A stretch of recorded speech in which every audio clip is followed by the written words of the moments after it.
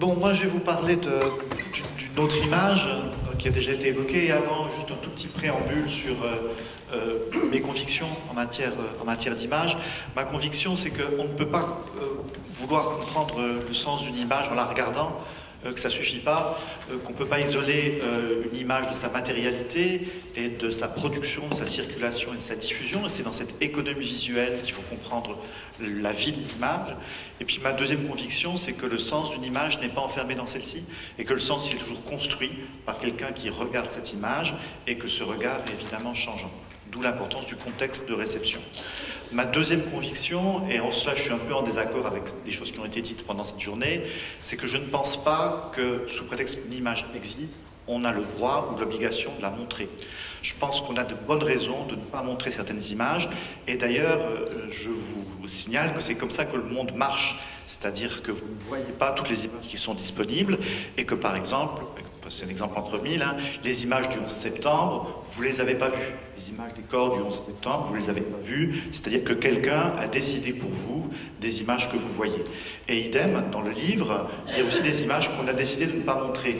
Donc il ne faut pas dire qu'on on est d'accord pour montrer toutes les images, on est d'accord pour ne pas en montrer certaines, et je pense que c'est légitime. Ce qui est très important, c'est de dire quelles sont les images qu'on ne montre pas et pourquoi on ne les montre pas. Et je ne pense pas que ce soit non plus inapproprié de tenir compte de la sensibilité du public. Je pense que c'est important de savoir à qui on parle et de tenir compte de l'audience qui est en face de soi. Et donc, euh, parmi les images peut-être qu'on ne devrait pas montrer, il y a celle-là. Peut-être il faudrait brûler les, tableaux de Gauguin. Euh, alors ce serait dommage hein, parce qu'il cher. Euh, cette image a été peinte par Gauguin lors de son deuxième séjour à Tahiti, et c'est pendant longtemps une image qu'on a considérée sans soupçon comme allant de soi, comme ne posant pas de problème. Bon, bien sûr, il a la nudité, mais il y avait deux bonnes raisons d'accepter cette nudité.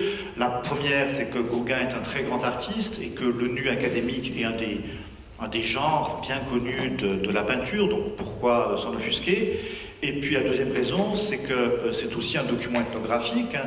Les Vaïnés, les Tahitiennes vont déshabiller, que ce soit à cause du climat qui est très chaud, ou à cause de leur impudeur naturelle, ou de leur euh, innocence, puisqu'elles sont euh, proches de, de l'Ève originelle ou proches de l'animal. Bon, en fait, ces deux prétextes, aujourd'hui, on va les regarder avec beaucoup de suspicion. Euh, on dit quelquefois hein, qu'il euh, faut être nu quand on est une femme pour pouvoir rentrer dans un musée, effectivement, parce que les musées sont pleins de tableaux faits par des hommes qui représentent des femmes nues et qui sont destinés à d'autres hommes.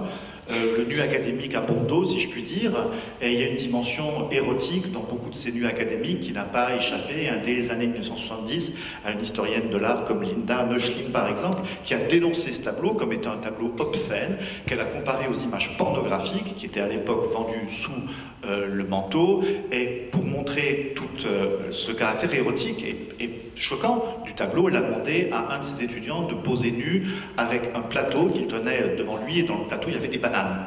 Et si on compare la photographie d'un jeune homme nu qui tient des bananes et cette, représentation des femmes qui tiennent un plateau avec une compote, des fruits ou des pétales, on se rend compte qu'il y a peut-être un souci. Euh, quant au deuxième prétexte, le prétexte ethnographique, évidemment, il ne tient pas non plus, puisque quand euh, euh, Gauguin était à, Tahiti, l'île avait été évangélisée, et les Tahitiennes sont très pudiques, et donc elles portent toutes des robes mission qui couvrent les chevilles, les poignets, et puis, et puis décolleté. Et donc, évidemment, jamais on peut voir à Tahiti une femme euh, dans cette tenue, si ce n'est bah, des modèles que Gauguin a payés pour qu'elle se déshabille devant lui, et ces modèles qui acceptent de se déshabiller devant un peintre occidental étaient très probablement des euh, travailleuses du sexe. Et donc la dimension érotique de ce tableau, où ces deux femmes offrent leur poitrine, enfin, en même temps qu'elles offrent des fleurs sur un plateau, me semble, me semble assez, euh, assez évidente. Et leur disponibilité est, claire, c'est une invite, une invitation au voyage, si on peut dire. Et donc, euh, non, ces deux stratégies de l'innocence, que sont euh, le prétexte du nu académique et le prétexte ethnographique, sont à laisser de côté. Alors tout ceci aujourd'hui dans un constat où il faut rappeler que euh, les Vainés de Gauguin avaient 13 ou, 14 ans, tout ceci aujourd'hui sans le souffre, on peut se poser des questions hein, sur la violence qu'exercent ces images, et à la vérité, dans certains tableaux de Gauguin, la violence est visible, est patente. Je pense à un tableau qui s'appelle L'Esprit des Morveilles, Tétou Papaou, où on voit la jeune Vainée de Gauguin, 13 ou 14 ans, qui est allongée sur le ventre et qui se retourne en arrière et qui regarde d'un air terrifié l'esprit des morts ou peut-être simplement le peintre et les sévices qu'il va lui faire subir.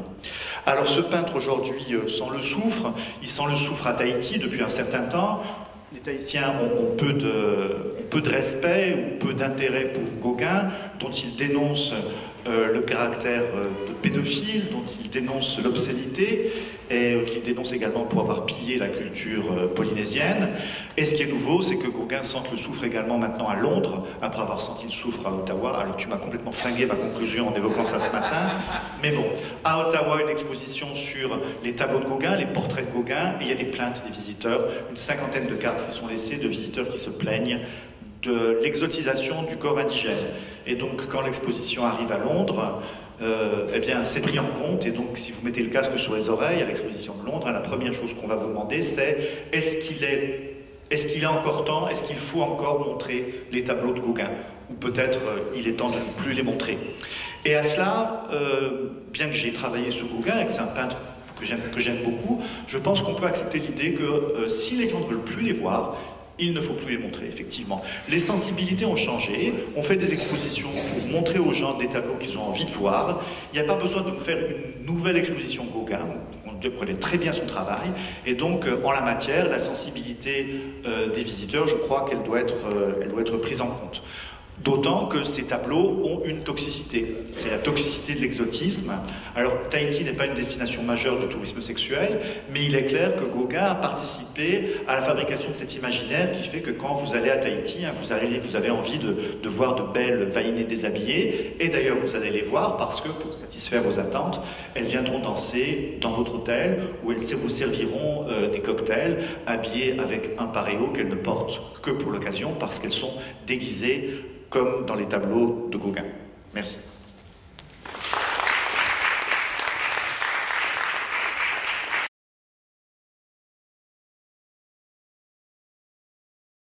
Une autre image, les trois images que je vais vous montrer, c'est le même motif, hein, ce sont des femmes avec euh, la poitrine apparente, et dans les trois cas, ce ne sont pas des portraits, c'est-à-dire qu'à chaque fois, on n'a aucune idée de qui est cette personne qu'on montre, un Gauguin, c'est Les Seins ou Fleur Rouge, ou c'est deux Tahitiennes, là non plus, on ne sait pas qui c'est, mais c'est un genre pictural bien différent, puisque c'est une photographie, et qui est la une d'un hebdomadaire bien connu dans les années 1930, qui s'appelle euh, Voilà, hebdomadaire de photoreportage, et qui est effrayant des sujets un peu à scandale, des faits divers, du spectaculaire, ou du pittoresque. évidemment, parmi le pittoresque et le spectaculaire, il y avait les colonies et notamment la dimension sexuelle dans les colonies. Et donc, euh, ce, reportage vous propose une sorte de tourisme virtuel. Il va vous emmener où? Dans un lieu, la Casbah, qui est un lieu qui suscite à l'époque tous les fantasmes. 1937, c'est aussi l'année où sort le film de Julien Duvivier, Pépé le Moco, dans lequel la Casbah d'Alger est quasiment un personnage. Alors cette Casbah est fascinante. Pourquoi? Parce que c'est une ville qui ne ressemble pas aux villes européennes. C'est la vieille ville indigène euh, d'Alger, avec ses ruelles tortueuses et en pente. Elle est incompréhensible et elle suscite à la fois un mélange de dégoût et de fascination très présent. Euh, elle est l'objet de visites touristiques et une des attractions majeures de la Casbah, c'est le spectacle des femmes de la Casbah, car en effet, la Casbah contient plusieurs rues qui sont un quartier réservé, c'est-à-dire un lieu prédestiné au commerce euh, du sexe. Euh, le projet du reportage est très paradoxal puisque on vous propose un grand reportage sur la vie secrète et on pourrait dire, ben, si cette vie est secrète, on ne voit pas comment on pourrait faire un grand reportage à son propos. Et c'est tout le paradoxe de cette fascination pour la femme d'Alger qui est très apparent dans les guides de voyage de l'époque, c'est que à la fois, il y a la femme euh, recluse, la femme voilée, d'autant plus désirable qu'elle est recluse qu'elle est voilée et qu'on n'y a pas accès d'un côté, et puis de l'autre côté, il y a la femme publique, la travailleuse du siècle, la prostituée. Et très curieusement, les deux sont confondus. C'est-à-dire toutes les femmes, en fait, quand même elles sont recluses et voilées jusqu'aux pieds, sont susceptibles, il suffit de les suivre, et on verra ce qui se passe, sont susceptibles potentiellement d'être des travailleuses du sexe. Et donc, euh, on retrouve ici une obsession qui est très présente dans la peinture orientaliste pour les lieux où euh, les femmes sont recluses et en même temps où elles sont déshabillées et offertes, de façon très paradoxale, c'est l'obsession de la peinture orientaliste pour le harem, par exemple, ou pour le hammam. Et euh, on est ici dans cette obsession de voir hein, cette, euh, cette, politique du dévoilement qui est très caractéristique de la colonisation et de son plaisir euh, scopique. Alors la femme d'Alger que vous propose ici, femme d'Alger dans son intérieur, hein, c'est le tableau de la croix, hein, très exactement. Donc elle est, elle est demi-nue et puis elle est offerte au regard à la fois du photographe et puis du lecteur qui devient un touriste potentiel. Elle fume une cigarette qui la qualifie comme étant une femme de mauvaise vie, comme étant une travailleuse du sexe, et son attitude aussi hein, contre le mur, sa position, euh, renvoie euh, euh, à cet univers. on note l'ornement de l'image avec les tentures plus ou moins orientales, la fleur plus ou moins exotique, et puis le vêtement, les bijoux de cette, jeune femme. Alors, le rapport avec le tableau de Gauguin, il est, il lointain, bien sûr, puisque le tableau de Gauguin prétend être une œuvre d'art, et puis il relève de la fiction, assumée comme telle, plus ou moins, alors que là, c'est très différent. Hein. C'est pas censé être une œuvre d'art, on est dans la photographie, qui est indicielle, elle prouve que ça a été, elle vaut comme preuve, et puis on est dans un magazine de photoreportage. Donc, si vous y croyez, hein, on vous dit, ben voilà comment elles sont, voilà comment sont les femmes d'Alger, euh, la photographie a un très fort effet de réel. Alors, quel en est le résultat? On peut penser hein, que cela se traduit par un très fort appel à la colonisation, surtout chez les jeunes gens hétérosexuels, frustrés, euh, qui vont penser pouvoir réussir à accomplir sur place euh, tous leurs fantasmes. C'est l'idée que euh, l'Empire, l'Algérie en particulier et la Casbah encore plus, est un bordel à ciel ouvert, le plus grand bordel du monde. alors c'est un effet qui est très difficile à mesurer et ou pour le dire autrement, on pourrait dire aussi que cette image est une publicité pour du tourisme sexuel. Elle vous pousse à aller ailleurs pour consommer euh, des services sexuels euh, rémunérés. On peut se poser des questions euh, avec cette image-là sur la superposition entre les motivations du tourisme sexuel et les motivations de l'entreprise coloniale en la matière. Alors, euh, bien sûr, euh, cette image reflète un fantasme, celui de la belle moresque au sein nu, qui est disponible, hein, dont on nous a parlé euh, tout à l'heure, et, qui fait passer chacune des femmes de ces pays pour une prostituée potentielle, mais en même temps, l'image produit le fantasme, elle le reproduit, elle est à la fois la matrice et le reflet de ce fantasme. Mais ma question, bien sûr, est celle de l'impact de ces images. Et réfléchissons-y un instant.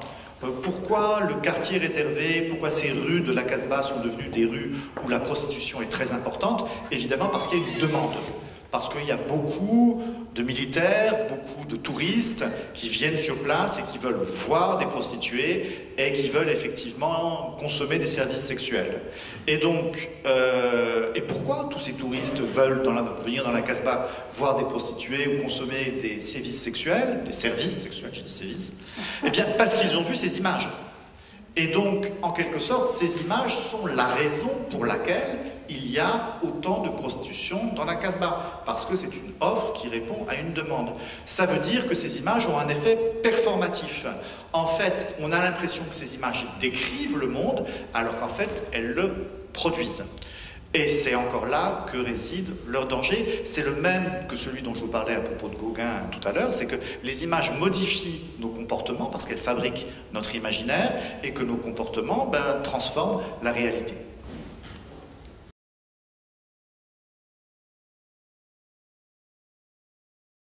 Donc je vais aller droit à l'essentiel euh, et on va oublier euh, l'image de gauche que je ne vais pas commenter, je vais parler que de celle de droite.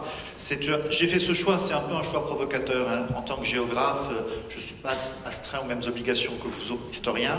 Et donc quand on a fait l'exposition sur les photographies exotiques à Genève, dans un parc public qui est le parc Bertrand, on n'a pas respecté les photographies, on les a agrandies pour les montrer dans le parc public, et puis on en a rhabillé une sous Photoshop.